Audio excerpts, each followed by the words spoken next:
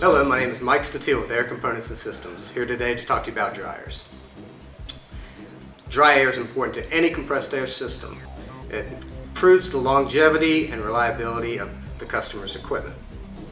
Here at Air Components, we typically provide two different types of dryers, a refrigerated dryer and a desiccant dryer.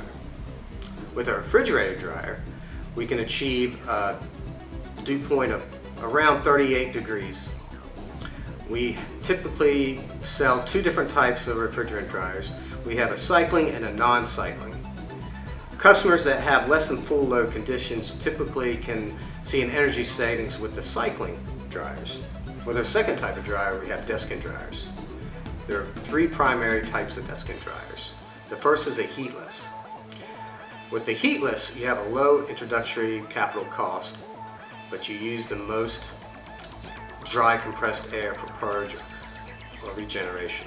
Usually around 15% of the dry compressed air is used with the heatless desiccant dryer. Second, we have a heated desiccant dryer. With the heated desiccant dryer, we use around 7% for the purge, and the capital cost goes up slightly. The third type of desiccant dryer is the heated blower desiccant dryer.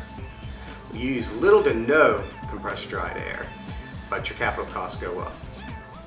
It's important to consult your local air components rep to decide which dryer best fits your application and budget.